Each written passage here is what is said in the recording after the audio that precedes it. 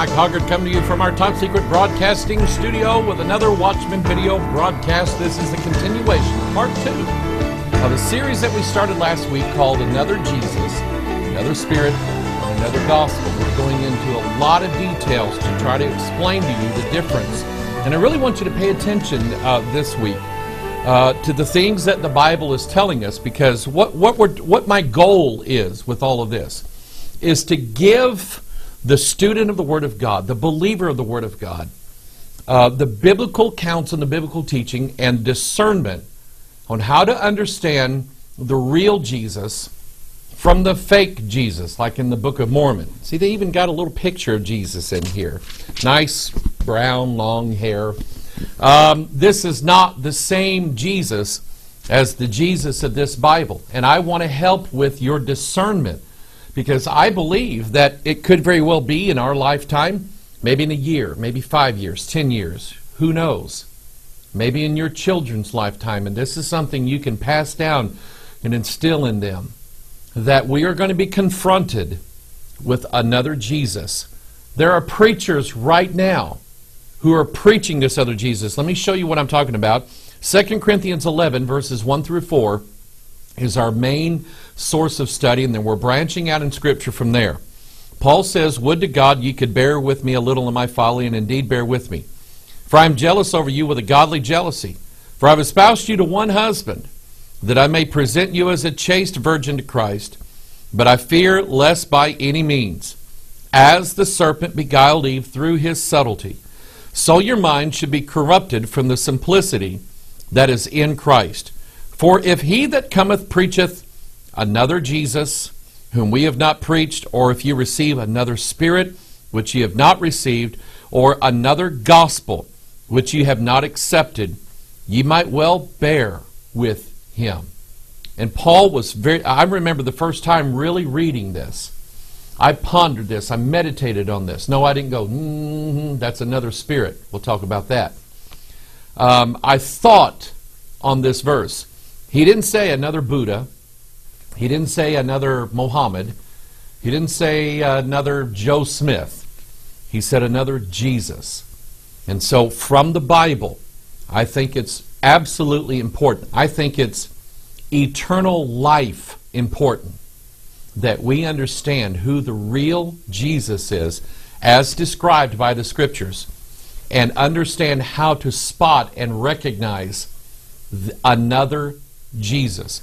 He's going to be preached, he's going to be taught, and these, these are all packaged together.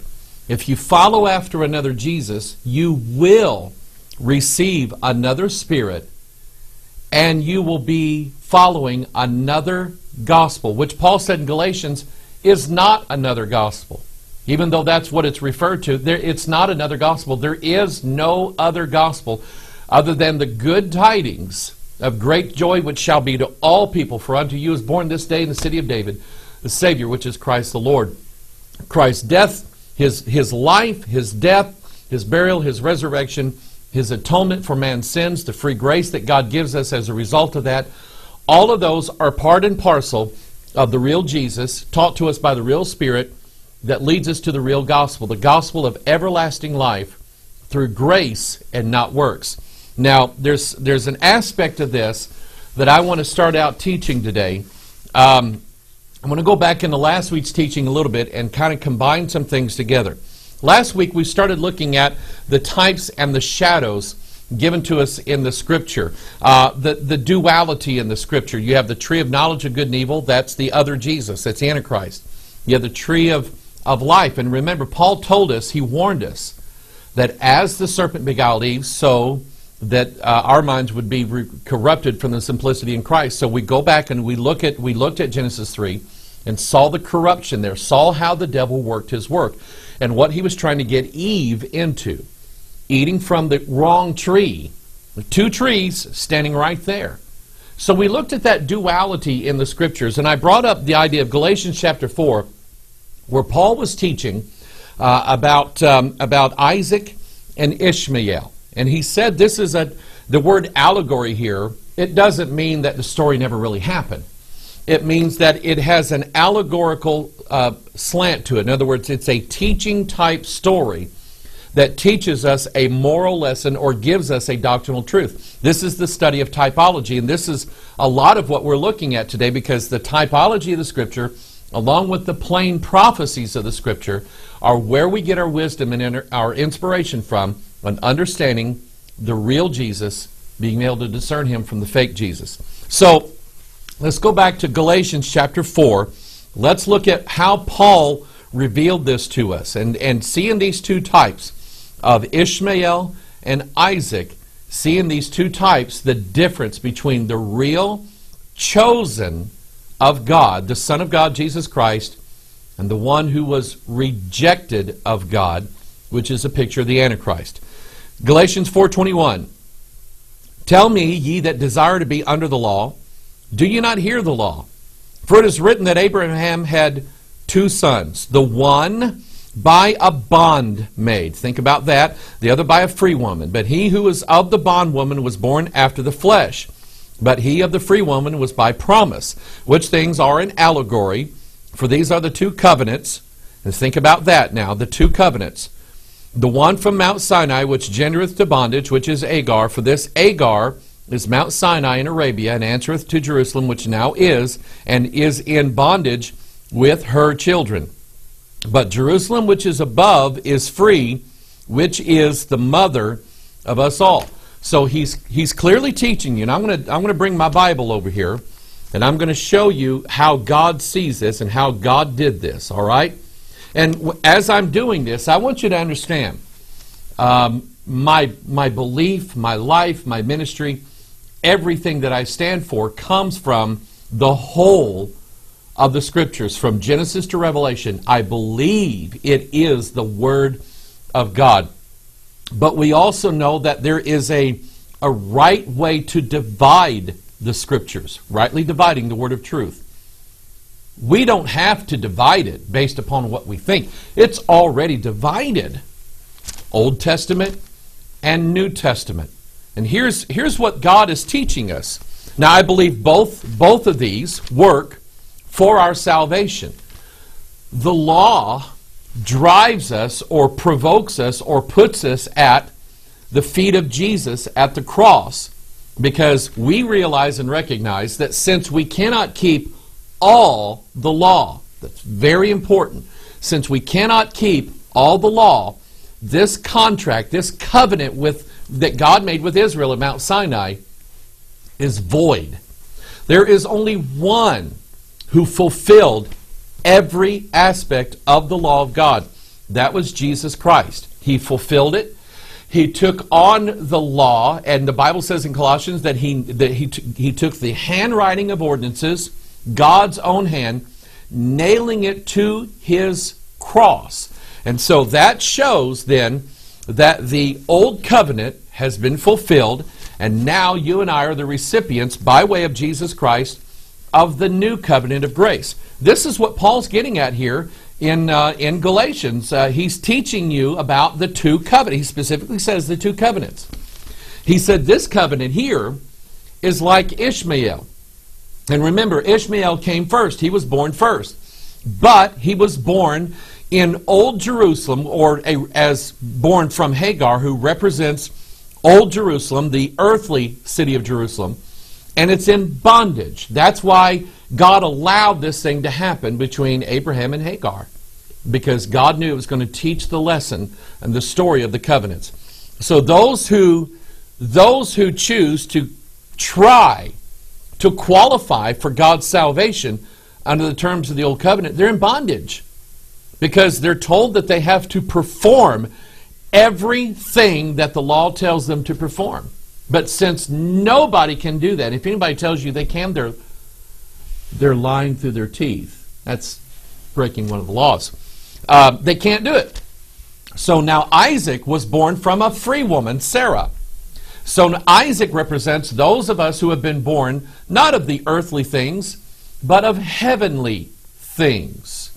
New Jerusalem, which is above, which is free, which is the mother of us all. So we look at the typology here. Isaac represents the, the freedom in Christ, the real gospel the real spirit, the real Jesus. Ishmael represents the bondage Jesus. He represents the bondage leader who, if you go back and you decide to go back under the law, you're now in bondage along with Ishmael. That's how you're going to be born. And so the Bible is teaching us very clear. And by the way, look at it like this. Uh, this was first, the Old Testament, this was second. Ishmael was born first, but it was bondage. Isaac, the second born, receives the blessing of Abraham and receives the covenant that God gave to him in Genesis chapter 12. Jesus said in John chapter 3, You must be born again. This flesh that I have with me right now, I hate it. I absolutely hate. You know how you just wake up some days and you hate your hair, you hate your face, you hate your back, you just hate various parts. The older you get, the more about you there is to hate. And I don't like my flesh. I don't like what it wants to do. I don't like the I don't like the desires. I don't like the pride. I don't like anything to do with this flesh. It was born first. It's in bondage. This flesh is never going to be free from the bondage that it's under. That's why I had to be born again. And I'm saying all that for a reason. There is an aspect of the fake Jesus that goes along with the fake gospel. The real gospel says, since you cannot perform works to please God, and the truth of it is, not even what I'm doing right now satisfies the demands of a just God. It does not please God, it does not please His justice even though I'm trying to give you the Word of God. The only thing that pleased God was the bruising of His Son, Jesus Christ, Isaiah chapter 53. That's the only thing that pleases God. So if, if, if someone comes along now with a different gospel that says, oh, you've got to keep the law, You've got to do Sabbath worship. You have to do feasts. You have to do this. You have to do that in order in, in order to in order to what? Please God? it doesn't work. It's another gospel, and they're giving you another Jesus. In fact, most of these guys don't even call him Jesus. He's Yeshua, Yahushua, Yeshua, Yahashua. I, I, I don't know how they pronounce it all. That's a different Jesus. It's not the same Jesus as the one of this New Testament. You see, the Hebrew roots crowd don't even call this the New Testament. They can't stand that concept. They call it the renewed covenant. You know what they're saying? that only in the uh, only in these parts of the Bible here, God is just reiterating the fact that in order to be saved or stay saved or please God in salvation, you have to go back and keep the Old Testament law, the renewed covenant. That's not what it is.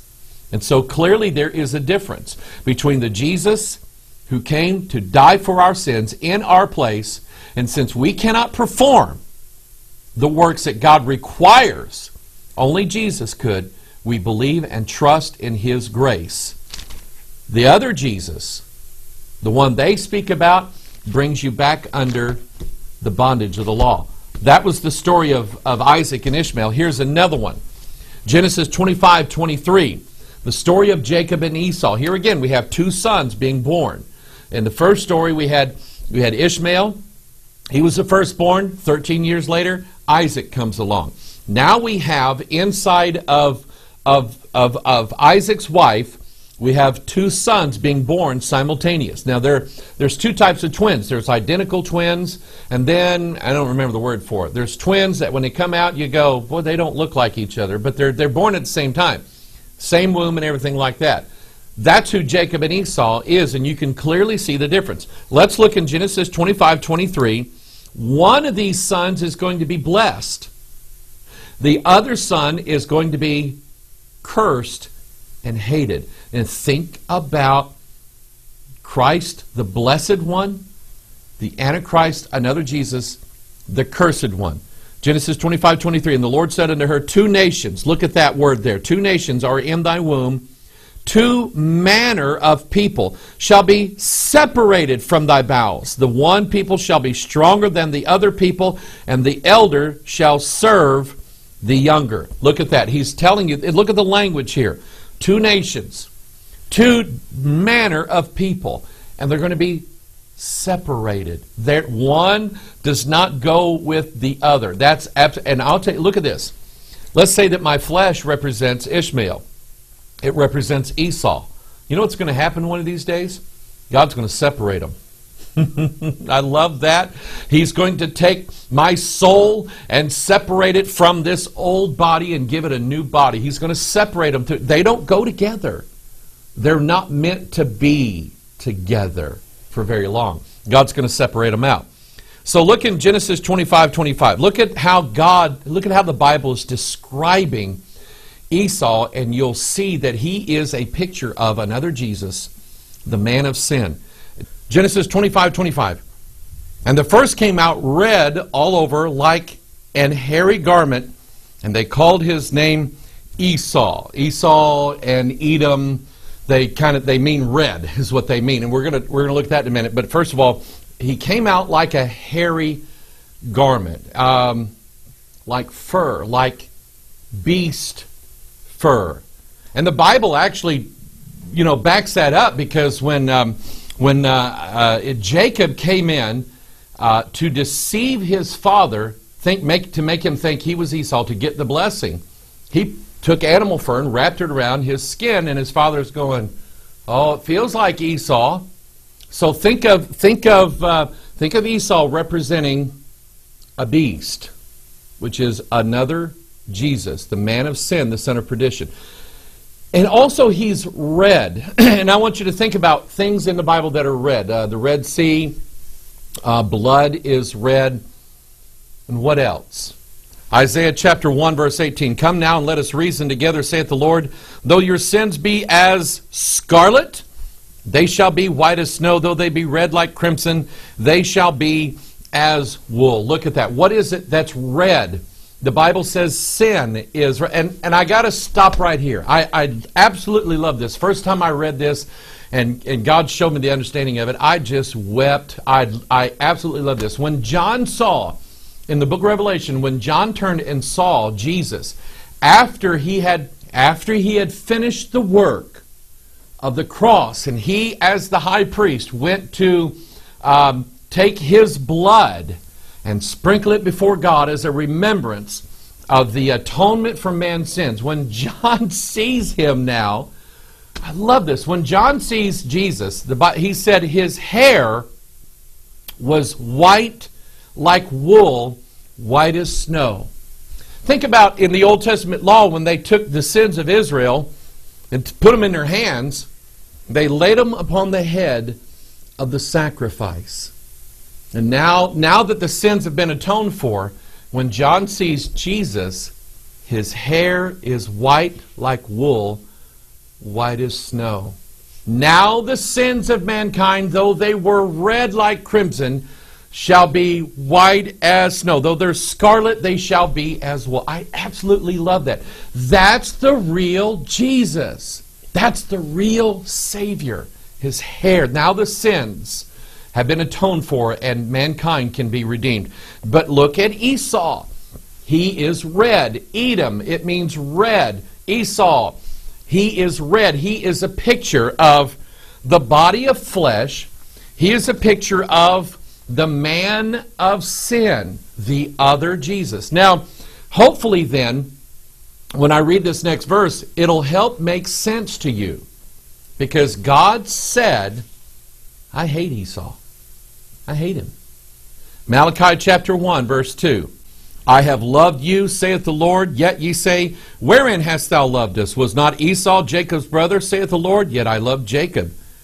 And I hated Esau, and laid his mountains and his heritage waste for the dragons of the wilderness. We all know this. The dragon is the devil. Revelation 13, it's the dragon who gives the beast, the other Jesus, the Antichrist, his power and his seat and his great authority. So God takes all of those who are red in sin, red like Esau, and he takes their heritage and lays it waste for the dragons of the wilderness. It's a picture of the other Jesus, in whom is no salvation. Genesis 38 27. And I want you to notice that we're, we're going to have another story now of two sons being born. Remember, we have Ishmael and Isaac. Old Testament, New Testament. Flesh, spirit. And they're separated one from another. Cast the, the bondwoman and her son was cast out. So is Israel right now. And so, and then here we here again we have Jacob and Esau. Esau was the firstborn. Jacob was the secondborn. But Esau and Jacob, they were separated. And the Esau was cast out. Esau did not get the first right hand blessing that Esau or excuse me, that Jacob got. Now we have two more sons. Look at this story. This is from the line of Judah. Now, Genesis 38 27. It came to pass in the time of her travail. Think about the prophetic meaning of that, of that word, travail. That behold, twins were in her womb. And it came to pass when she travailed that the one put out his hand, and the midwife took and bound upon his hand a what? Scarlet thread, saying, This came out first. And it came to pass as he drew back his hand that behold his brother came out, and she said, How hast thou broken forth? This breach be upon thee. Therefore his name was called Pharez, and afterward came out his brother that had the scarlet thread upon his hand, and his name was called Zerah. Now, some very, very interesting things are going on here. Let's look at number one, the two sons.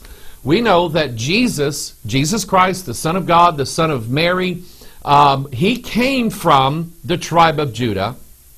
Judah had two sons, two surviving sons, and he has Zerah and Pharez.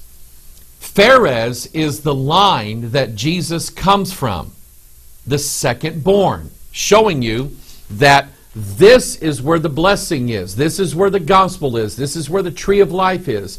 This is where eternal life is. Through the lineage of, Zer- of Pharez not Zerah, because Zerah, he is the one who broke the matrix. Therefore, he is technically the firstborn. How did they designate him? Putting a red cord, scarlet, though your sins be as scarlet. He now is identified with, number one, our flesh, which is sinful, always will be. Number two, he's recognized as and identified with the man of sin. Notice we have a travailing. Notice we have a birthing taking place. These are all pictures of both the coming of the Lord and the appearance of the Antichrist in the last days. So, Zerah, he was born first. He has scarlet on him. He's red like crimson. So, and, and they're separated out. Let's go then look at, if you know this story, where did, who, who was the mother of these two, of these two twin boys? It was Judah's daughter-in-law. She was married to another son, and they all died, and now she plays the harlot. This is the opposite of the virgin birth. Genesis 38, 24. And it came to pass about three months after that it was told Judah, saying, Tamar, thy daughter in law, hath played the harlot. And also, behold, she is with child by whoredom. And Judah said, Bring her forth and let her be burnt. And I won't get into the whole rest of the story here, but here's what's relevant is that this other Jesus was born, the firstborn of this woman, and she was a harlot woman, not a virgin birth. And so I want you to take this idea, this concept of, of birthing, this idea of the scarlet cord, Esau being red, pictures Ishmael being in bondage. These are all things that identify the other Jesus, the man of sin. Here we, we have two sons. One is, one is the real one, one is the fake one. Remember when Israel made their choice, the day of, of Christ's crucifixion, they had the real Jesus they had a thief and a murderer and a terrorist brought up out of the prison. Think about that. Jesus came down from heaven. Barabbas came up out of the prison. Somebody sent me an email and they noticed, because I had been talking about that, uh, that Jesus is the Son of God, Barabbas. And uh, some things are just real easy to identify in the Scripture. Bar means son of, Abbas means his father. He is like a duplicate of Jesus, the son of his father but he's not the real Jesus. He represents sin. He, here Jesus was sinless. Here Barabbas, pff, there probably wasn't a commandment he didn't break. And God gave Israel a choice. They chose the man of sin, the son of perdition. You know what perdition is? It's the prison, it's hell, it's the pit. Barabbas literally came out of the womb of the prison, and that's who they chose. So watch this. Here's this idea Jesus is the, the total sum of the righteousness of God. This other Jesus will be the total sum of the man of sin. Look in Daniel chapter 8, verse 23. In the latter time of their kingdom, when the transgressors are come to the full, a king of fierce countenance and understanding dark sentences shall stand up. Notice 2 Thessalonians chapter 2, verse 3. Let no man deceive you by any means, for that day shall not come, except there come a falling away first, and that man of sin be revealed, the son of perdition. Now, I want to stop right here. And I want to clear something up because there is and don't you listen to this because this is going to play into what I've been teaching here. Uh, the King James, and I pointed this out in a video that we did here a few months ago called Modern Bible Translations in the Spirit of Antichrist. The King James nails it in describing who the real Jesus is and who the fake one is. In all of the new translations, they do not call the Antichrist the man of sin. They take it and they retranslate it and they call him the man of lawlessness. You say, so what does that mean? What that means is, and this man is lawless. According to them, he is without law. The Hebrew roots people, those who would bring you back under the law, are try are use that translation because it matches their doctrine. And they say that any Jesus that you would follow that does not bring you under the Torah, the law, is not the real Jesus. He's the man of lawlessness. You know what they're trying to do? They're trying to turn you away from the real Jesus who fulfilled the law, and now we are saved without the works of the law. New Testament's clear on that those who would preach another gospel, another gospel that says you got to be under the law, claim that any Jesus who does not bring you back under the law is actually the man of lawlessness. And that's not what the Bible calls him. calls him, I mean, compare this. Transgressors are come to the full. There is the Bible talks about the dispensation of the fullness of times. When we see, we use this language because this is biblical. When we see a woman and she has, she is in her ninth month, she is, we can tell by looking at her that she is full. She's come to the full. She is ripe and that child is ready to be born. This is what this is talking about in Daniel 8.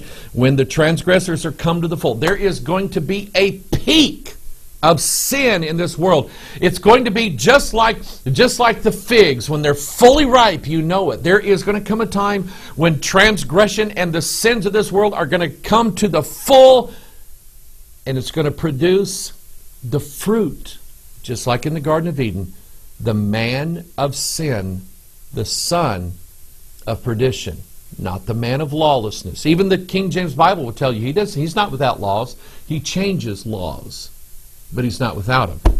So look at this language now in James chapter 1 verse 15.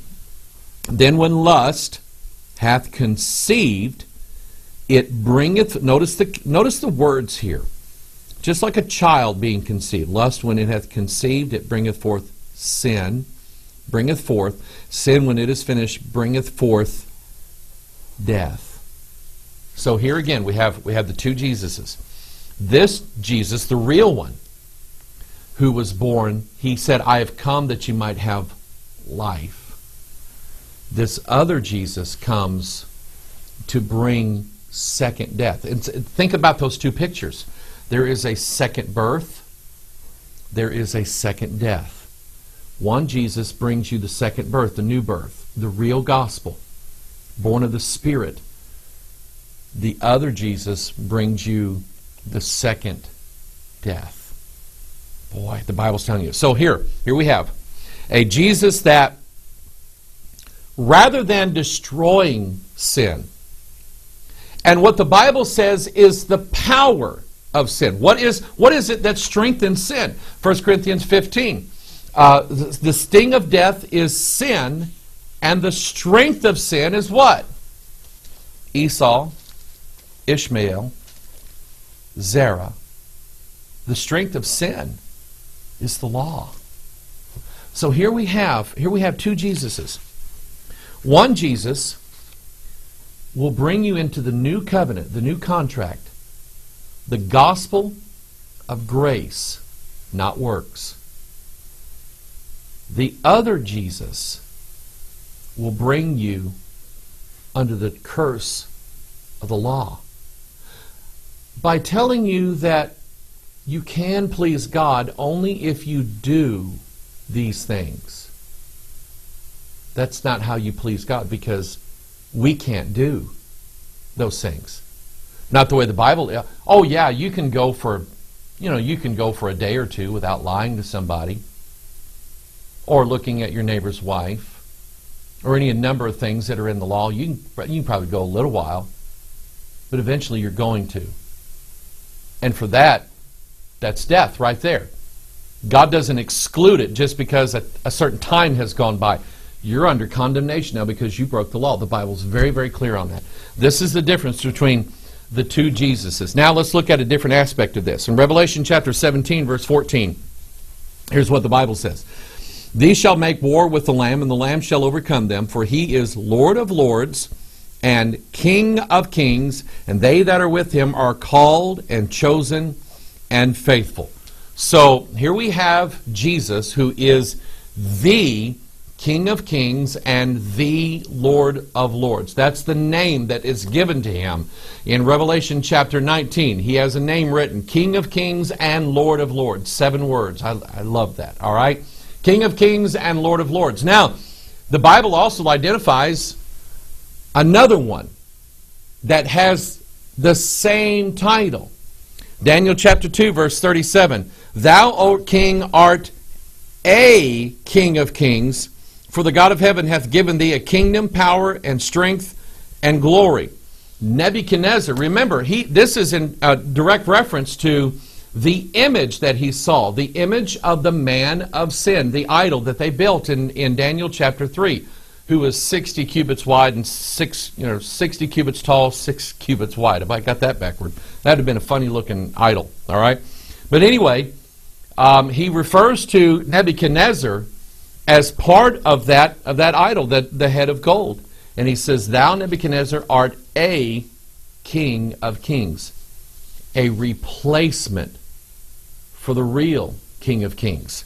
Ezekiel 26, 7, For thus saith the Lord God, Behold, I will bring upon Tyrus Nebuchadnezzar, king of Babylon, a king of kings from the north, with horses and with chariots and with horsemen and companies and much people. Stop right here and think about this. And we've done teachings on all of this. Get the uh, the, the video uh, called the um, the Mystery of the UN or something like that, and I show you what what is significant about the North horses and chariots and horsemen and companies of much people. That's Joel's army. You'll see that in Joel chapters 1 and 2. You'll see it in Revelation chapter 9. You'll see pictures of it all throughout the scriptures. These horses and these chariots are the army that comes up out of the pit in Revelation chapter 9, and they have a king over them, a king of kings. They have a king over them. The Antichrist is a king of kings. He is a, a ruler who has under him ten kings. And he is a king over these kings. But remember, Jesus comes from heaven. This one comes up out of the pit. So the Bible's identifying this the typology of Nebuchadnezzar as being a replacement king. Now, think about this. Uh, here, and here it is, Revelation 9:11. And they had a king over them, which is the angel of where? The bottomless pit, whose name in the Hebrew tongue is Abaddon, but in the Greek tongue hath his name Apollyon. Both of those, I mean, you can go look them up for yourself. It's very simple. Abaddon and Apollyon means the destroyer. So here we have the opposite. Here we have a king of kings coming up out of the pit, and he comes and he brings what the Bible refers to in Ezekiel 19 as cruel authority. Mean, cruel, hateful authority. Self seeking, self honoring, self pleasing authority.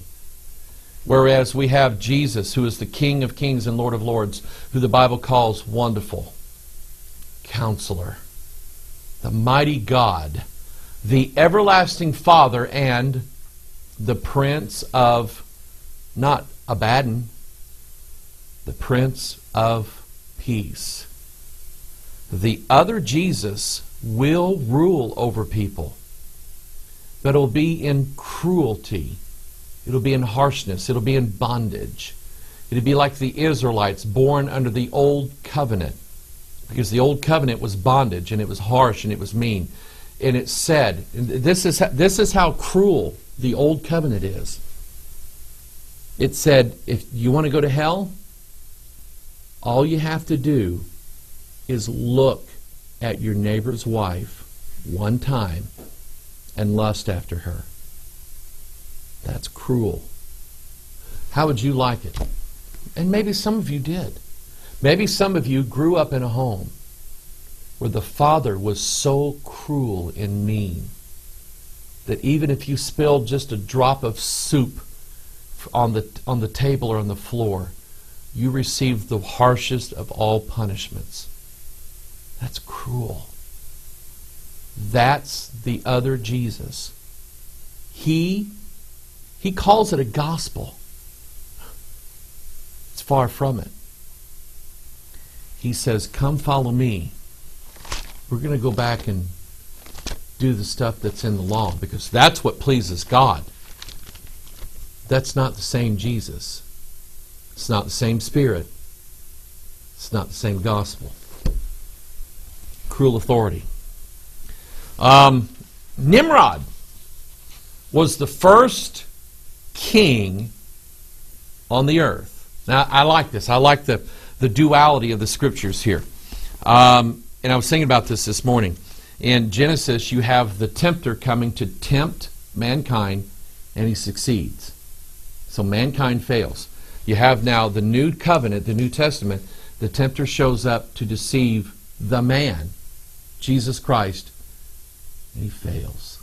Mm-mm-mm in the Old Testament, the Old Covenant, you have an earthly king, Nimrod, who rules over the world, and it is, is well known and well agreed that Nimrod, under Nimrod, was the origination after the flood of the myst- all the mystery cults and mystery doctrines of the world. He represent when you when you hear him talk about, uh, and we'll get into this, uh, Bacchus, Dionysus, Apollo, all of these gods of old they all originate, I think, with Nimrod. Nimrod, who was the mighty hunter before the Lord, and he was also a, a builder of cities as well. We're going to look at that aspect here in a little bit. And so just think about that. Here we have we have a cruel king in the Old Testament. Now in the New Testament we have the good king, the Prince of Peace. So beautiful, so be- and and here's the discernment. Here's the discernment that I want you to have in deciding who's going to be the real Jesus here the Jesus of the new covenant that rules and brings peace to mankind through his works, that's the real Jesus. Any other Jesus that tells you, no, you must perform this, you must do this, you have to do this, it's not the same one, and he's going to be cruel. But he's a builder, just like Jesus is. Genesis chapter 10, verse 8, and Cush begat Nimrod, who is there's that number, 13. So the 13th from Adam. Stop right here. Uh, he's 13. Deuteronomy 13 speaks of uh, a false prophet and God sending one. Acts chapter 13. Hosea chapter 13. God said, Because Ephraim is in sin, I will be unto them as a lion, a leopard, a bear, and a terrible beast. That's exactly what how John described the beast of Revelation 13. A lion, a leopard, a bear, and the dragon gave his power seat and great authority. So here we have Nimrod, who is the 13th of Adam. Remember, Ishmael was 13 years old when Isaac was born. That's because that's when God gave the covenant of circumcision, and Isaac was circumcised eight days after he was born. Ishmael was circumcised at 13. Okay? So he's the 13th from Adam. He began to be a mighty one on the earth. He was a mighty hunter before the Lord. I'll tell you what that means in a minute. Wherefore it is said, even as Nimrod, the mighty, even as Nimrod, the mighty hunter before the Lord, and the beginning of his kingdom was Babel and Erech and Akkad and Calneh in the land of Shinar. Now, I'm going to break some things down here in this verse. Number one, he was a mighty hunter before the Lord. Think of the first commandment Thou shalt have no other gods before me. And that word before, what does it mean he was a hunter and offering up his sweet sacrifices in the Lord? No, no, no, no, no, no. Nimrod was, um, how can I put this? He was in the place of the Lord. Everything that Nimrod did, including his hunting skills, was done in God's face. In other words, he was bringing about his own glory and his own honor because of both what he could do and what he can build before the Lord. So we have a cruel king in the Old Testament. He comes first. We have the good king in the New Testament. He comes last. Also, think about this. Uh, he is a mighty hunter. What was Esau? Get it? The red as crimson Esau was also a hunter, a destroyer. Think about that.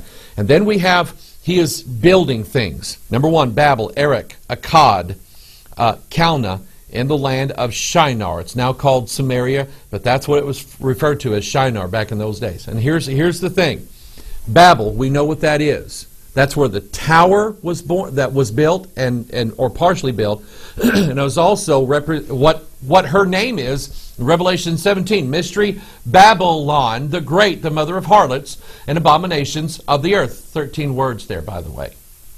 And Nimrod is a builder of the of the world order, the old world order, and now he wants to build a new world order not by doing something different, but by taking back up the rebuilding of what used to be. Now, I want you to think about this.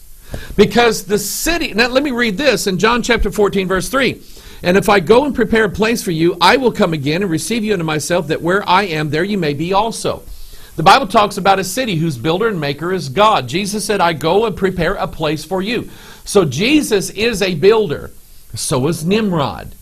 Jesus builds for us a heavenly, everlasting kingdom that will never have an end. Nimrod built Babel, and by the time one chapter later, God's already kicking everybody out of it. And the ruins of Babylon. Of course, uh, Saddam Hussein started rebuilding that and so on. Uh, but anyway, that's the idea I want, I want to get across to you is the idea that number one, Babel, this king always brings about confusion. That's where the word Babel comes from. What does that sound like to you? We'll get into that when we talk about another spirit. A spirit of blah blah blah. It's exactly what it is. Anyway, the beginning of his kingdom Babel, Erech, Akkad, and Calneh in the land of Shinar. Four. Okay, four cities, principalities, that's what they represent. Principalities, powers, rulers of darkness, spiritual wickedness in high places. Nimrod is also a, a, a prototype of the ten toed kingdom and the fourth beast that rises up uh, in Daniel chapter 7. That's what these four cities represent. So here we have Jesus, the real Jesus, who builds us a heavenly city. We have another Jesus which builds us an earthly city. The real Jesus will save the soul, that which is uh, that which is to be separated from the flesh. The other Jesus seeks to glorify the flesh and try to save the flesh. Now, I'll tell you, and we've a lot of things we've talked about over the years deal exactly with this concept right here. The idea that Ray Kurzweil, 2045, man's going to become immortal, right? That's the tree of knowledge of good and evil. You shall be as gods, and you shall not surely die. That is what another Jesus represents. He represents, he represents giving life and more life to the flesh. And again, go back to the difference here. Here is the spirit, here is the flesh, the old covenant, the Old Testament. The Old Testament only pertains to the flesh and the sin nature. It does not have any dealings with the spirit. And when God saves us, He saves us our soul, not our flesh. So another Jesus is interested and will bring interest in, number one, allowing the flesh to live forever. So let's let's just break this down a little bit. Some of these faith healers, those running around, Benny Hinn, Kenneth Copeland, everybody gets healing. Everybody, Kenneth Hagin, uh, Joyce Myers, and the like. They all are pointing you to another Jesus. Joel Osteen. Think about what his book is called. Your best life, not then, even though that's what the Bible says. Your best life now. You know what Joel Osteen's doing? He is building a Babel, an Erech, and a Akkad, and a Calneh in this new land of Shinar. That's what he's doing.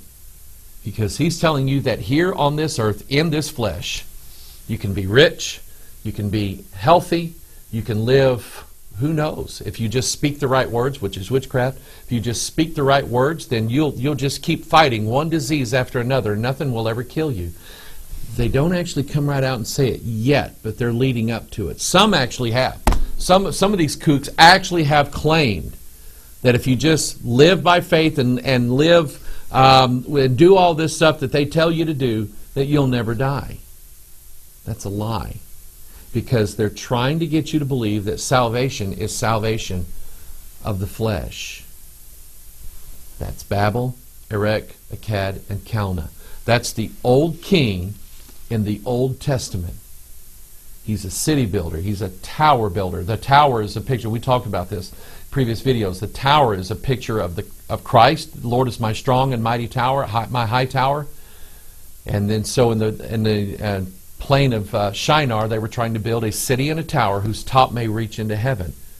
God already has a city and a strong tower, Jesus, that comes from heaven down to the earth. You see the opposite here? Any preacher teaching you about success here on this earth and and glorification here on this earth and and if you perform now if you do things the right way god will give you all these good things down here on this earth any preacher who's teaching you that as an abundance of his teaching is talking about another jesus. He's not talking about the real jesus. What was the example that the real jesus taught us? Death. You got to die first. Then you can have it. But jesus did not and is not interested in um, dragging out or, or, or continuing the works of our flesh. He said it must be crucified, must be killed. That's where the faith of the new covenant comes in. Another Jesus will always take you back to works. He will always take you back to earthly things. You can have earthly money. You can have earthly power. You can have earthly kingdoms. The Antichrist builds earthly kingdoms. That's what he does. And remember, Nimrod um, there were three sons of Noah Shem, Ham, and Japheth. Ham, his generation was cursed. That's where Nimrod came from. Let's look at it. Uh, Genesis chapter 10, verse 15. And Canaan begat Sidon, his firstborn, and Heth, and the Jebusite, uh, the Amorite, and the Girgashite, and the Hivite, and the Arkite, and the Sinite, uh, and the Arvadite, and the Zemarite, and the Hamathite, and um, Afterward were the families of the Canaanites spread abroad, and the border of the Canaanites was from Sidon, as thou comest to Gerar unto Gaza, as thou goest unto Sodom and Gomorrah, and Admah and Zeboim, and even unto Lasha. Stop right here. Canaan came from, and Canaan also is cursed. Canaan is also a 13th generation from a different from a different relation, but they're all under the the um, uh, the line of Ham. Ham is the one who went in and saw his uncovered his father's nakedness, and for that his lineage was cursed. And it was the specific lineage of Canaan that was cursed. Remember, we're talking when we say cursed, we're talking about two two things that are opposite: cursed and blessed. Um, this is cursed, Book of Mormon. The Aquarian conspiracy, it represents the curse, whereas here the new covenant represents life. And so we have we have Canaan, who is also the 13th generation from Adam. And I want you to notice that the cities that he built, Sodom and Gomorrah, Admah, Zebul, and Melasha, these are Sodom and Gomorrah, that's the cities that God destroyed because of what? If you look in, um, oh, I just love this. I love how the numbers just work out and people can make fun of me all they want to. It just looks like they belong there. If I were to look in Genesis 13, 13, look at what it says. But the men of Sodom were wicked and sinners before the Lord exceedingly. Who built Sodom? The lineage of Canaan. So it's all what did God do with Sodom? Destroyed it. What did God do with all the Canaanites? He destroyed them. He got them out. Canaan, the Canaanites and who were in the land represent the one third of the. Think about this. Noah had three sons, Shem, Ham, and Japheth. Shem and Japheth are blessed. Ham is cursed and, and, and expelled. In heaven, you have the group of angels. The dragon takes how much of the angels? One third. The other two thirds are blessed. One third of the angels are cast down to the earth. And so think about Canaan and the Canaanites. God brings his people in and casts out the old inhabitants so that they can inhabit that land. And so it's a beautiful picture of what happens in Revelation 12, where one third, just like Ham, the third generation, one third is kicked out of heaven so that you and I can dwell in their place. It's an, and we're dealing with two nations, two types of people one blessed, one cursed. One who is of the Son of God, Jesus Christ, one who is of another Jesus. And I, and I keep reiterating this because another Jesus will always bring you another gospel, and the way to recognize any other gospel is that it's going to bring a work in somehow, some way. Um, you must, you must uh, do penance. You must eat this wafer and drink this cup. You must speak in tongues. You must go back and keep feast. You must do this. You must do that in order to be saved. You, the, Paul was dealing in Galatians with those who were saying, You must keep the law to be saved. You must be circumcised to be saved. That was another gospel, and that's how Paul nailed it. They were following the wrong Jesus because their Jesus Jesus was a Hebrew, so therefore he was calling us to be Hebrews. That's not true. That's a lie. Use discernment, people. Find these things out. Uh, so let's look at the Canaan kings. Since they're cursed, they're from that 13th generation.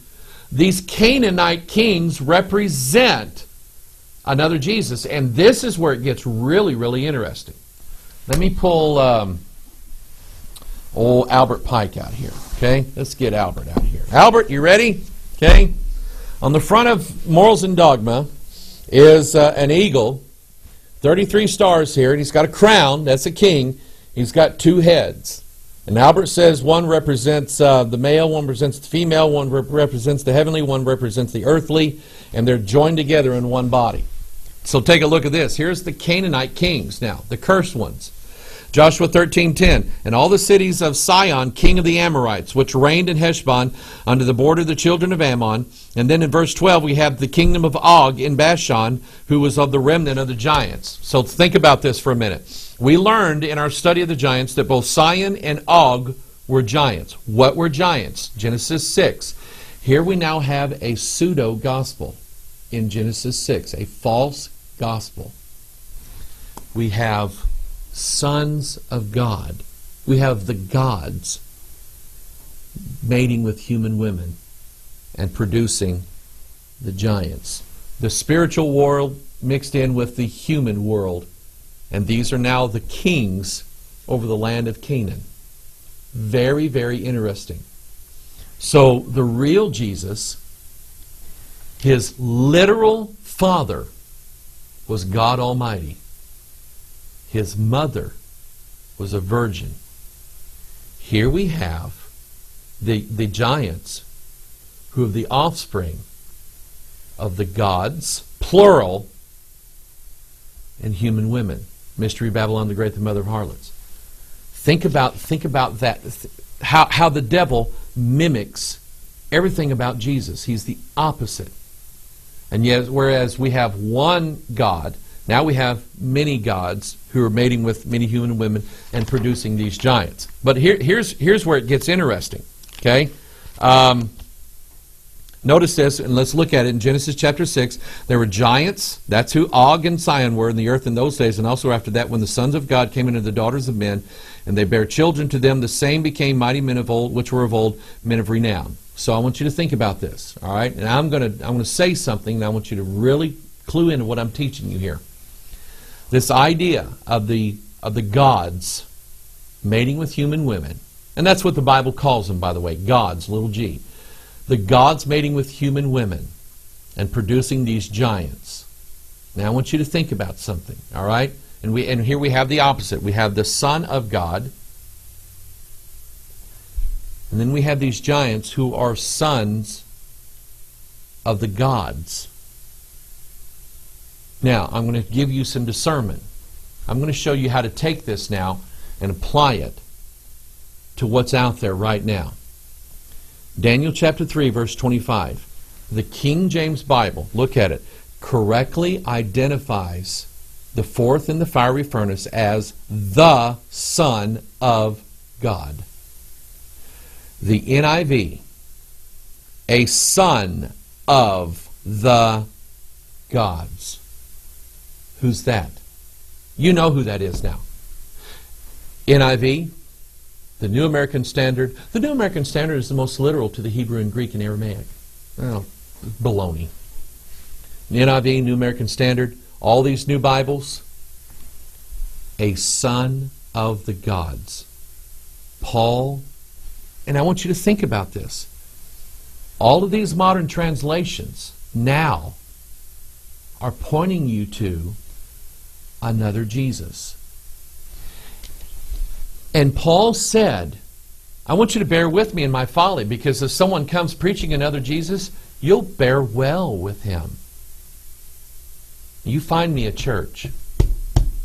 You find me a church that's still preaching the fourth in the fiery furnace was the Son of God. Show me that church. And for every one church that still preaches the old King James, I'll show you a thousand that don't. The, all the modern Bibles now, and I want you to get this, since they are now, since they are teaching you about another Jesus from Daniel 3:25. That other Jesus has another spirit and another gospel attached to it. I am seeing in the churches that have followed all these false Bibles, I am seeing that they're constantly adding what you must perform in order to either be saved, stay saved, or merit God's blessing in your life. When the, when the pulpits are constantly coming out with seven seven things, to, seven ways to have a, a good marriage. Seven ways to have a great, and this is what they say, sex life. Seven ways to achieve powerful success at work. They're telling you things that you must do in order to merit God's blessing in your life. That's Esau. That's Ishmael. That is the bondage of the Old Testament, and it's not the real Jesus. Whereas the new covenant says, believe on the Lord Jesus Christ and thou shalt be saved. The new covenant says, pray and ask God. He'll do for you because you cannot. So, so what if, now I want you to think about, well, it's good, it's good lessons. What if there's somebody who hears this and they hear the seven things that they must do in order to have, a, let's say, a good marriage? And there's one thing in that list that they cannot do. What are they going to do? They can't do it. Here, Ed Young Jr. gets up on the roof of his church in bed with his wife for 24 hours, news cameras all over the place, telling everybody that in order to have a, a good marriage, that they have to, their, them and their partner have to perform sexual rituals in seven different places in the house one day for seven days. What if they can't do that? You see, the real Jesus will tell you, you want a good marriage? Ask God to give you one. I know all about this. There are things that I love to do for my wife. There are things I cannot do. I ask God. God's blessed my marriage. Raising children. There are things that I know that I have to do raising them, but there's in, in some ways with each one of my children, there's things that I just cannot bring myself to do. I've failed my children, but I've asked God to bless them. You see where I'm getting at? Anytime there's a, and that's this is the new gospel now that's coming out. It's not about do you believe and will you ask God. Rick Warren himself. Rick Warren himself in the Purpose Driven Church book says it is a fallacy for pastors to think that prayer alone will build a healthy church. That's a different gospel than the, this gospel right here. Whereas Jesus said, On this rock I will build my church. Different Jesus, different Bible, different gospel, and a different spirit. It's everywhere, people. And your neighbors and your family members are all falling for it. Don't go their way. You stand. Let's bring out another aspect of this. We mentioned uh, the Canaan kings in Joshua 13. We have these are the ones that they killed on the other side of Jordan. These are the ones that Moses killed. Moses killed Og and he killed Sihon. So that's two. They cross over Jordan. Joshua goes in and kills Joshua chapter 12, verse 24, the king of Tirzah, 1, and all the kings, 30 and 1. I give you about five seconds to do the math. 31 plus 2. 2 plus 1 is 3. Bring the 3 down. 33. Who was 33? Jesus, when he died on the cross. And think about it. It's so beautiful. Think about it. Here, here, Moses represents the Old Testament. Joshua represents the New Testament. And by the way, by the way, Moses could not lead the people into the promised land. The Old Testament cannot take you to heaven. That's why Moses had to die.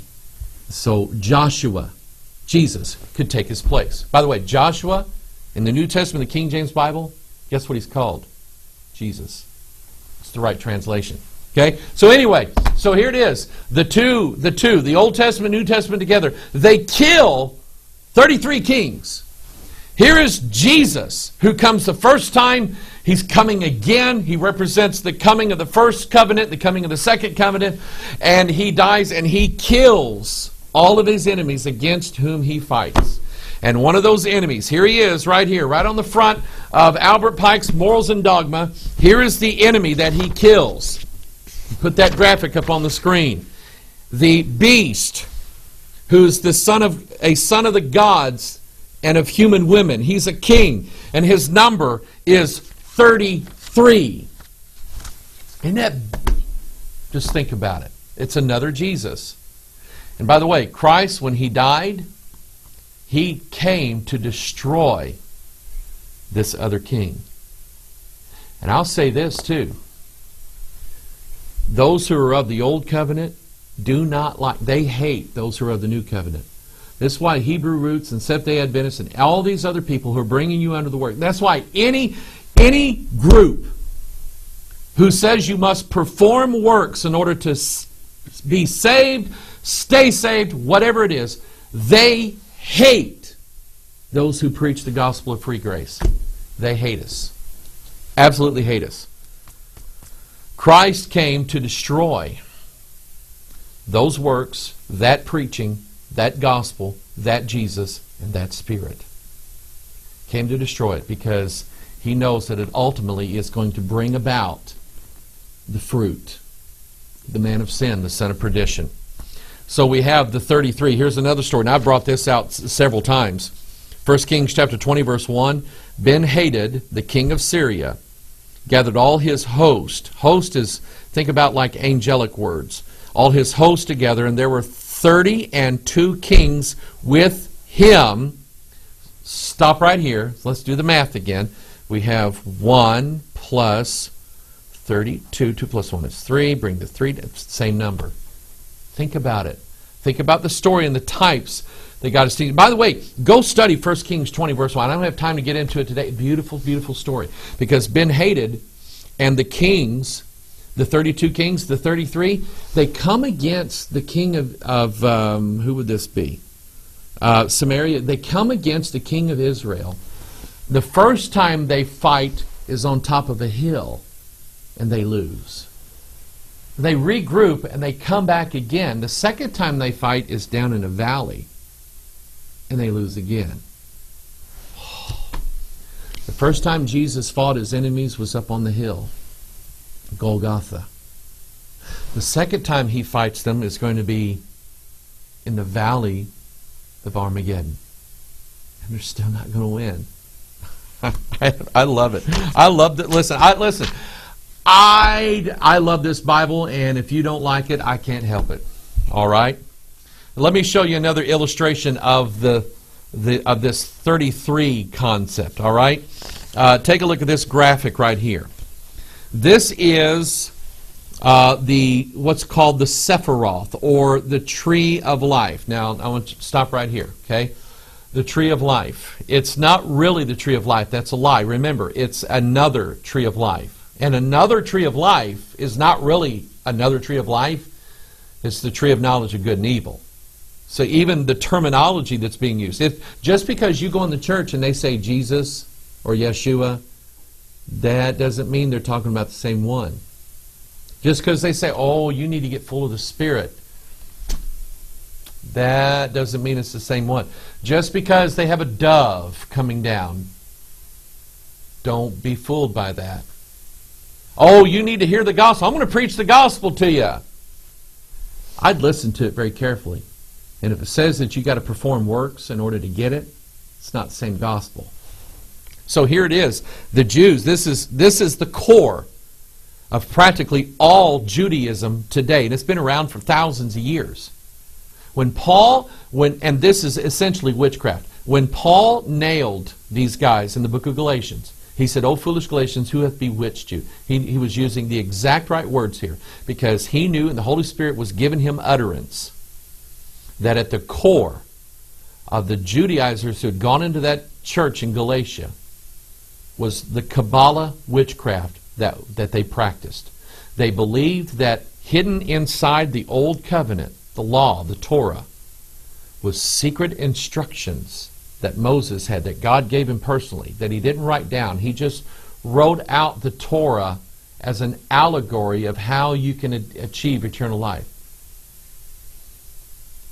I submit to you, and I have the evidence, that the Hebrew roots teachers are subtly, not overtly, subtly bringing its adherents under the Old under the Torah because they're Jewish rabbis who are all Kabbalists that these men have trained under. Michael Rood trained under Jewish rabbis. Um, Peter Michas trained under Jewish rabbis. Jim Staley let it slip in a teaching he did on the book of Romans when he referenced we have divorced the white fire from the black fire. Jim got that from the Zohar the Kabbalah. I want you to look at this. I want you to look at this image. I want to show you what white fire and black fire is. On one side of this, you have, uh, I want you to notice the circles on the left side here. One of them is called mercy. The other one's called severity. I want you to think about that. Right hand, left hand. They're opposites. The one side, notice above mercy, you have uh, Abba. And then above the other one, you have, uh, it's a female. I can't read it there, but it's Shekinah. we'll talk about that one too. You have male and female, sons of God, daughters of men, opposites. Mercy and severity, they're opposites. White fire on the right side, black fire on the left side. That's where he got it from. He's teaching, he's bringing people under the witchcraft of the Kabbalah. It's another Jesus, it's another gospel, and it's another spirit. Okay? That's what the Kabbalah is. But anyway, let me let me make this quick here. There are 10 circles here. Think of think of what? Ten Commandments. Because the Kabbalah teaches that hidden, a secret, inside the Hebrew Torah is the secret to eternal life. That's precisely what the Hebrew roots people are telling everybody. You want eternal life? It's in the Torah. But anyway, 10 circles here, 10 kings, 10 toes. The strength of sin is the law, the Bible says, and that's why there's 10. And so there's t- 10 circles here represent 10 divine beings. But these paths that are going and intersecting each other, there's 22 of them. And Again, do the math. 10 plus 22, 32. Okay? But then you have another part of this, another divine king in the center there, making the form of a cross. That's 33 right there. That's what the Kabbalah is all about. It's about the reigning of the man of sin. And when you choose to follow the Hebrew roots movement, they will eventually bring you under the curse and the bondage of the Torah because they've been told by their Jewish Kabbalah rabbis that the secret to eternal life is hidden inside the Torah. Wow. Here's another rendering of the um, the tree of life, excuse me, the tree of knowledge of good and evil. And it it's sort of telling you right there who's in charge of it. See the serpent? That's him. Okay, now, take a look at this graphic here. This shows the idols that people always worship. Notice that it's the, by the way, it's the here, this one here on the left is the fusion of human and animal together. We've talked about that I don't know how many times. That's, think of Revelation 13. Um, they're going to be given a mark on the right hand or forehead. And here's wisdom. Let, let him that hath understanding count the number for it is of the beast, for it is the number of a man. Notice beast and man are combined together here. Notice back here we have the image of a bull or a cow. And, and I want you to think about this because we're talking about the difference between the real Jesus and the fake one. Okay, the real Jesus will lead you into grace and everlasting life and belief. You, you can please God through faith. The other Jesus will lead you that you can please God and bring about God's blessings by the performance of something. So think about think about all the differences here all of these gods that were worshipped, they all had the image of, of a beast of some kind. Now think about the opposite here. Here we have what Pilate said of Jesus. He didn't say, Behold the beast. He said, Behold the man. To the man, Christ Jesus. All right? Here we have in the Old Testament, we have all these pictures of the Israelites worshiping not a man, but a beast. They worshipped. Uh, in Revelation in Revelation 17, you have a woman, Mystery Babylon, riding the beast. That's the image there that you see here. In this this is um, the image of the European Union, a woman dressed in scarlet, riding a big old bull.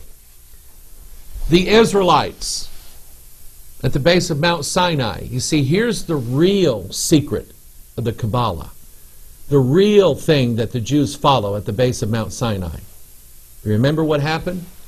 Moses came down the first time. What had they done? They worshiped a god. By the way, you go back and read this. They built a golden calf, a beast. And they said, Let us have a feast unto the Lord, capital L O R D, Jehovah. Listen to me. They called their bull, their calf, Jehovah. Yod, He, Va, He. Again, just because they say Jesus doesn't mean it's the real one. There's two of them. Just because they say gospel doesn't mean that it's the right gospel.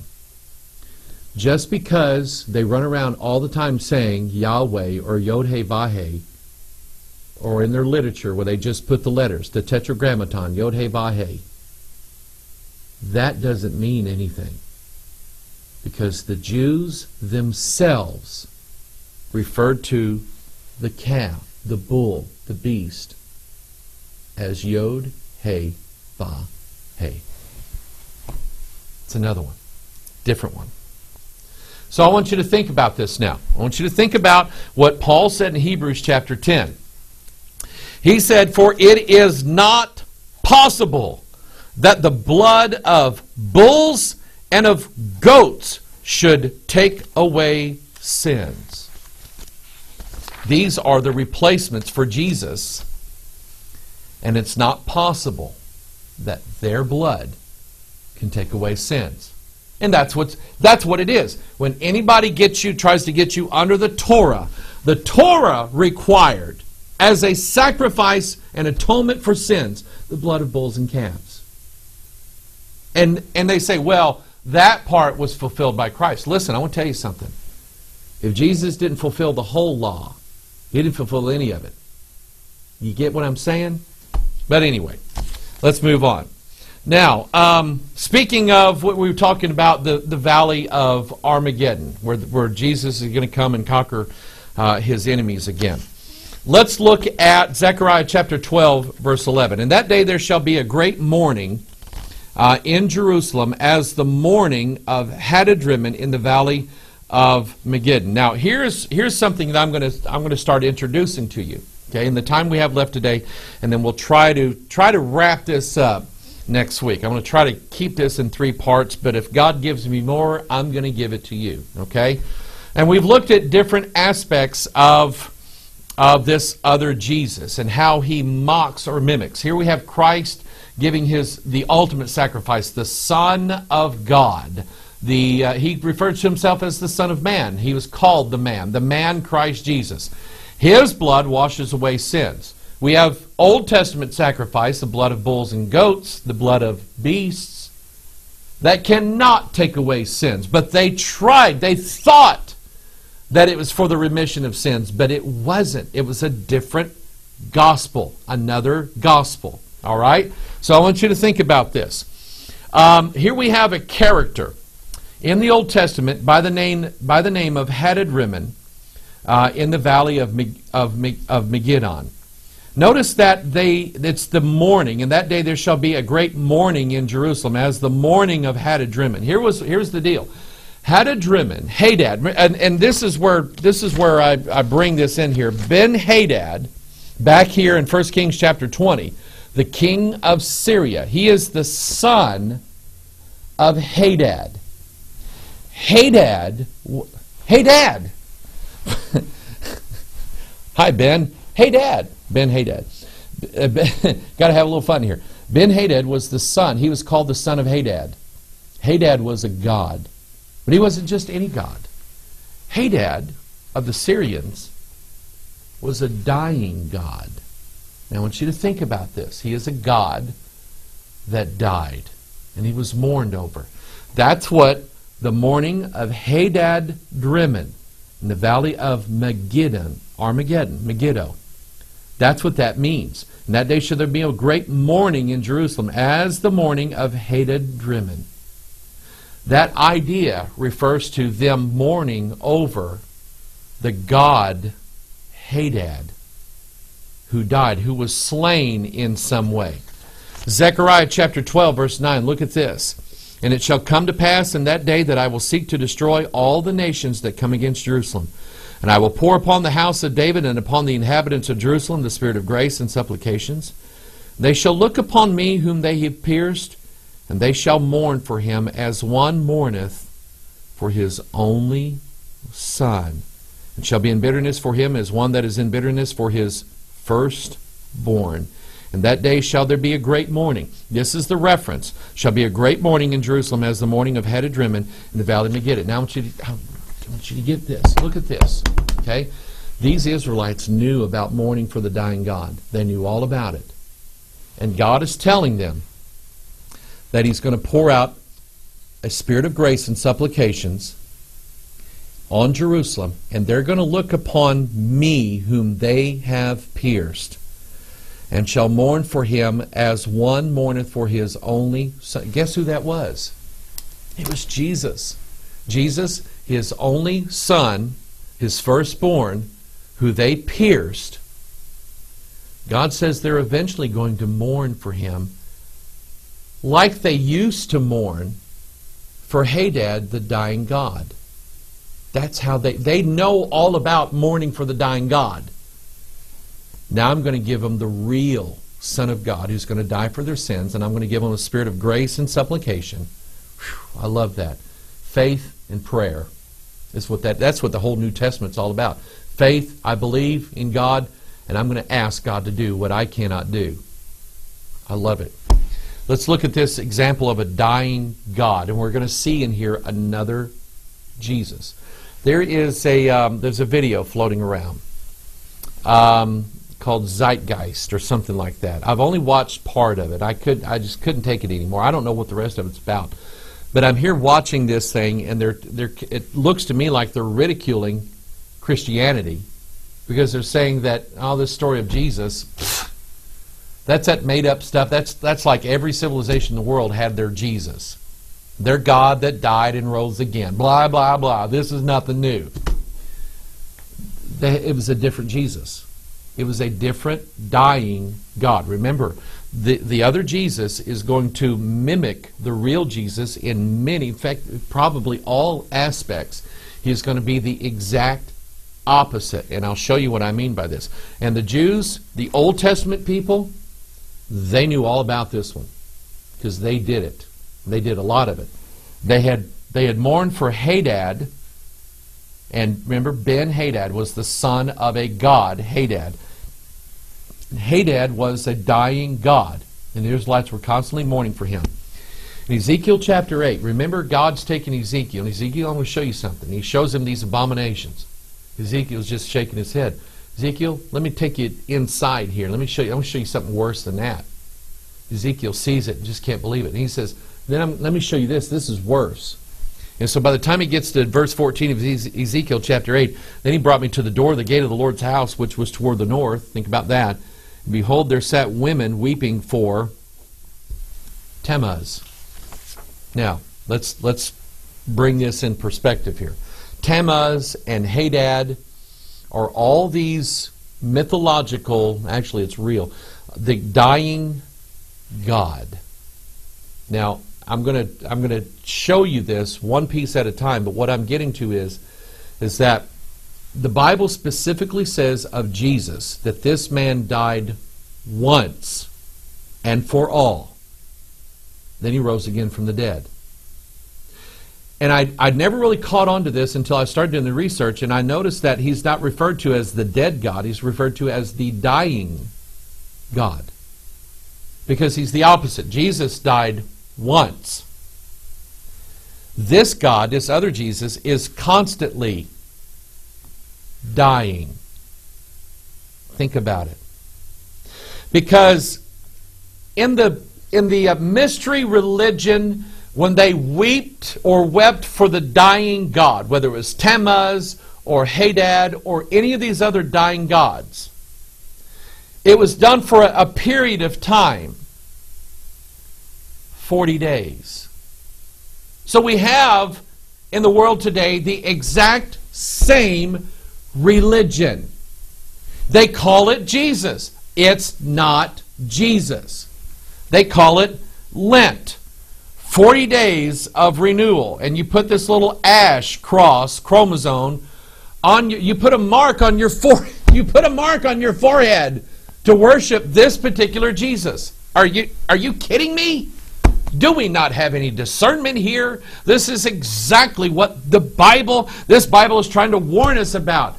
That's it's time to tell you there's going to be another Jesus. You're going to have another gospel. That gospel, Roman Catholicism, the mystery cult of all the earth, okay? Even bigger than Freemasonry, they perpetuate the myth of the story of the dying God and the days of Lent, 40 days of renewal. How about 40 days of purpose? Because that's where he got it from. He got it from the, and you don't believe that? Just go look up Rick Warren and see what he says about Lent.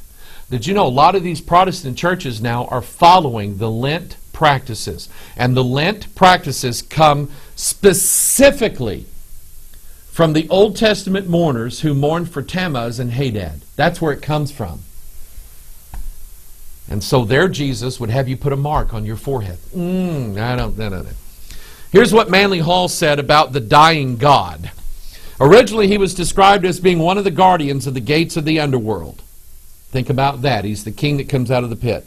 Like many other Savior gods, he is referred to as a shepherd or the Lord of the shepherd seat. Stop right here.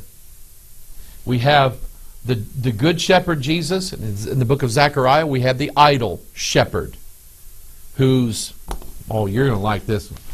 Unless, of course, you are one of the Hebrew roots people, then you're going to hate me for saying this, okay? The Bible says blindness in part has happened to Israel until the fullness of the Gentiles come in.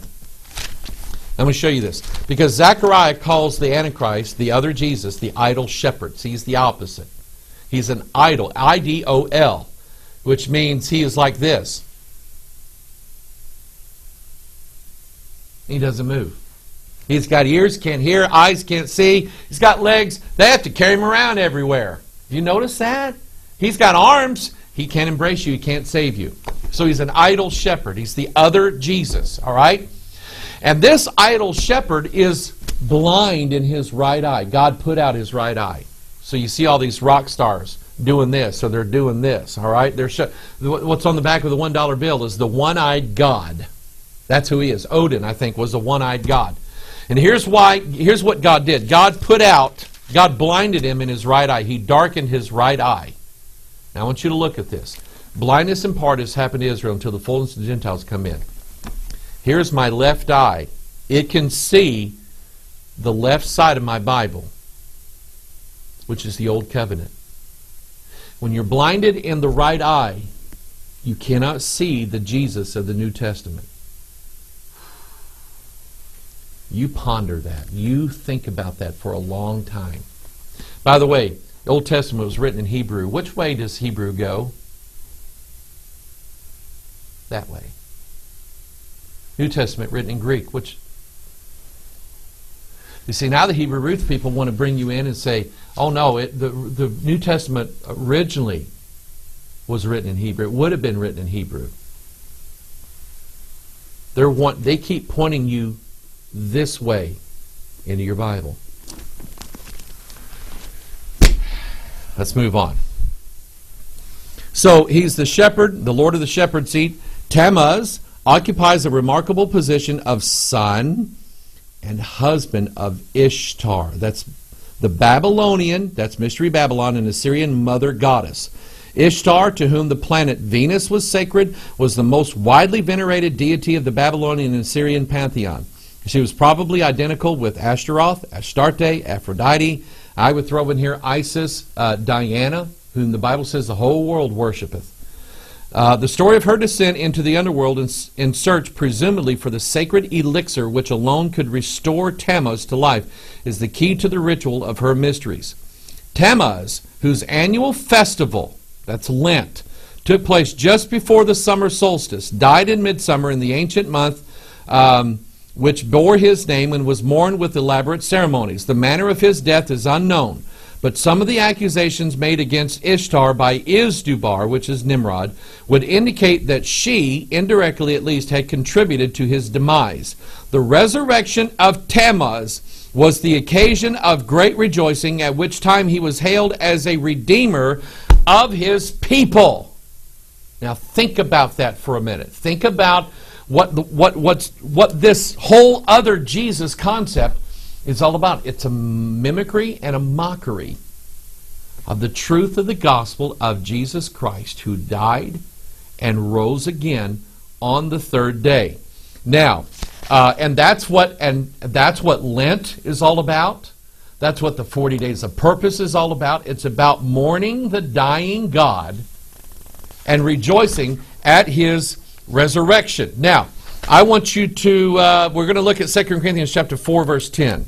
Always bearing about in the body the dying of the Lord Jesus, that the life also of, of Jesus might be made manifest in our body. Now, I want to show you this because if we look back at this graphic here of this X in ashes on this gal's forehead, that looks an awful lot like the X chromosome. And I want you to think about this and put this together with what I said. Uh, let me pull this out here. Okay, we're going to show. I'm going to show you something here in a little bit. All right.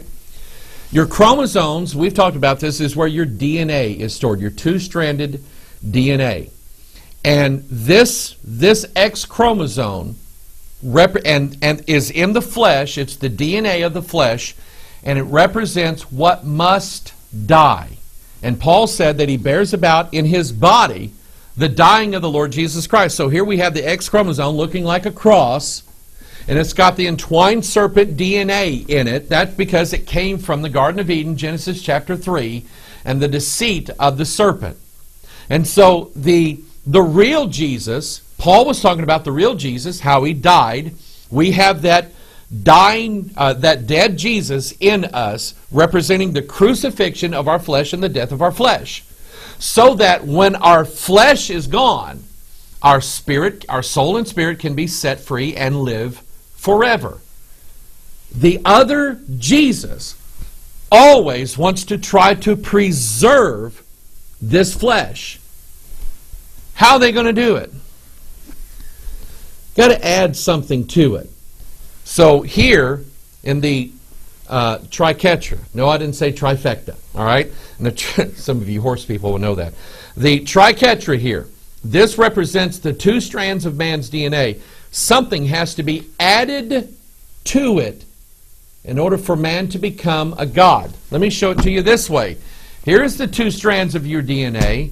Here is what's added to it. Another testament of Jesus Christ it's added to it. It's another Jesus, another Spirit, and another gospel. Let me show you then this another testament of Jesus Christ.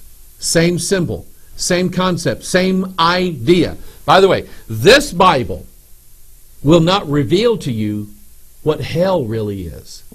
It hides it under names that you've never heard of, like Gehenna and Hades and Sheol. Those are the Hebrew and Greek words for those things. Okay, I've never I've never gone up to somebody and asked them, uh, "Do you know that without Jesus you'll die and go to Sheol?" They don't know what that means.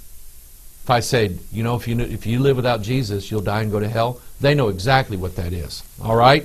So anyway, that X represents on on the um, on the on the forehead here of the dying God represents the resurrection of this dying God in your flesh.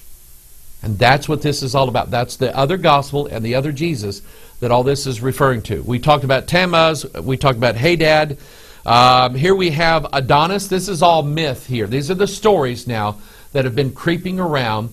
And actually, they are they represent the dying God, which is the Antichrist. And I'll explain myself uh, we'll look at it a little bit. I'm almost out of time today, but we'll look at it uh, a little bit further next week and understand this concept of the dying God and how it fits in with Bible prophecy and, and how, how I think, just a little theory here, how I think the dying God who keeps on dying is resurrected.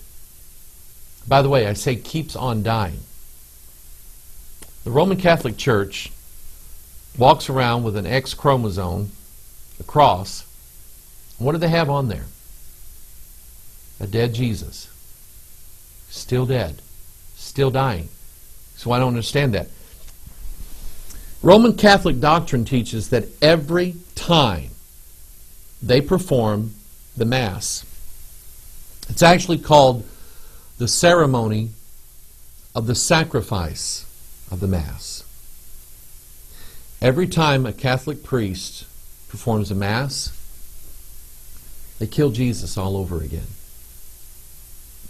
And let's say that, let's just say in America, and Catholic churches all around the country performing Masses every day, in monasteries, convents, you name it. Maybe into the thousands of times each day. Worldwide, who knows? Who knows how many Roman Catholic churches there are how many mass rituals they performed. Every wedding, every death, every funeral, every church service, every every time someone wants to get out of purgatory, everything. They have the dying Jesus dying all over again. He is perpetually dying. That's another Jesus. It's not the same Jesus. I want you to think of humanity too. Always dying. Always dying. Read Genesis 5. Adam lived 930 years and he died. Seth, his son after him, lived I don't know how many years and he died. And then his son, he died. And then his son, he died. There's a perpetual dying going on because this God is inside of us. I kind of explained that before. I'll explain a little bit more later. But anyway, Adonis, he was a mighty hunter. He is a picture of the dying God. He is uh, a representative. Adonis and Dionysus, uh, two names for him. He is the vegetation god that dies each year and is resurrected every spring. Ho, ho, ho. Green giant. Think about that now. I'm not saying that if you eat green giant peas and green beans that you're taking the mark of the beast. So don't write any letters to whoever owns Green Giant. Don't say that I'm trying to get you to get away from their product, all right? But where did they get that idea from, the green giant? It comes from what's called the green man, the vegetation god. The green man is this concept. It's in the Rosslyn Chapel uh, in Scotland. The green man represents the dying God who dies at wintertime every year and is resurrected again in spring. And then he dies again. Then he's resurrected. Then he dies again. He's resurrected. He dies again. He's, do you understand the cycle that's going on here? Every, and they called it the sun god. The sun god rose again from the dead, made it through life, and died again. Went to the underworld, rose again, died again, rose again, died again. You see the perpetuation here. The Catholic Mass, he dies again, he dies again, he dies again.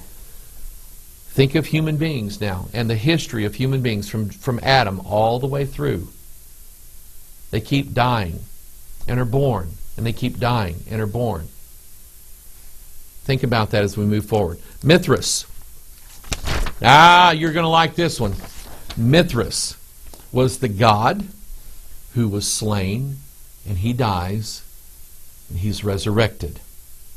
Actually, Mithras was killed by crucifixion, and he rose from the dead. So think about this. I want to, those of you who know J.R.R.R.R.R. how many R's he has in his name, J.R.R. Tolkien, you know that his premier work, The Hobbit, and then The Lord of the Rings. I read The Hobbit. I read The Lord of the Rings. I learned a little bit about that. This is back when I was in high school. And I've since walked away from that and I said, you know, I can't have anything to do with it. So it's I, in my mind, I cannot, I cannot fathom the concept of why churches are using The Hobbit, The Lord of the Rings, Harry Potter, to try to teach about God and Jesus. And let me explain something a little bit.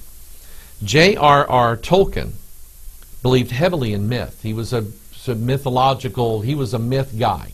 He knew all the myths. He knew all the, the gods and the goddesses. When he wrote The Lord of the Rings, you can see in the names of places and people and different races in Middle Earth, you can see uh, the evidence or the remnants of the knowledge that J.R.R. Tolkien had of mythology. Um, Mithras, the dying god, you have Gandalf, but the elf name for Gandalf was not Gandalf, it was Mithrandir. That was J.R. Tolkien took the idea of Mithras and put it into Gandalf, a wizard and called him Mithrandir. Do you know what happens to Mithrandir in the lore of the Lord of the Rings? He's Gandalf the Grey. But then he gets into a battle and he is cast down into the underworld and dies. But he's resurrected again, and now he's Gandalf the White. And so, churches all over the country jumped on this concept because of the Lord of the Rings movie and said, Ooh, that's a picture of Jesus. No, it was a picture of Mithras, the dying god who dies every year, resurrects every year, dies every day, resurrects every day. That's what he's a picture of. Here you have this book called A, a Hobbit, a Hobbit devotional, finding God in the Lord of the Rings. It's another Jesus that they're pointing you to, not the real Jesus. And so here we have, here's another picture. Here is, this is uh, Bacchus. He is the god of wine and fruit because he dies in the fall and he resurrects in the springtime and bears fruit. That's who Bacchus is. Um, a bacchanalia is a sort of a festival where there's a lot of, you name it, going on. A lot of uh, bad things. Bacchus would be the man of sin because when these people, these pagans, performed the bacchanalia, they were, I mean, they were drinking, they were everything. He represents the man of sin. By the way, Bacchus, if you look at this picture again, kind of looks like a little sissy boy, doesn't he?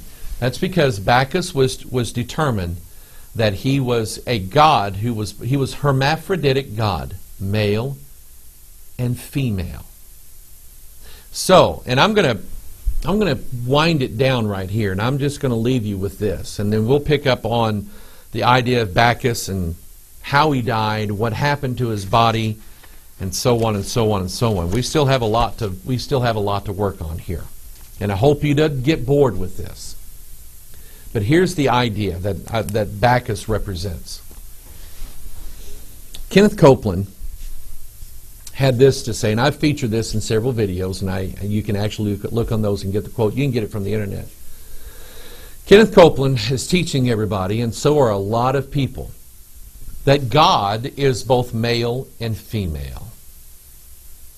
He's not. Not the real God. The real God is the Father. He is He. But He's never a she, never a woman. The God that I serve from this Bible does not have male and female parts. That's Bacchus. He is the hermaphroditic God. They called it that that name comes from Hermes, which was the god, Aphrodite, which is Ishtar, Ashtaroth, Easter, Esther, Isis, Xingmu from China, um, um, Diana, Venus, Mystery, Babylon the Great, the mother of harlots. So Bacchus in his representation is the fusion of the fusion of the two. This Hermes, the male god, Aphrodite, the, the pagan fertility ritual goddess. Okay, think about that. Fused together in one body. That's the other Jesus the hermaphroditic God who is both male and female.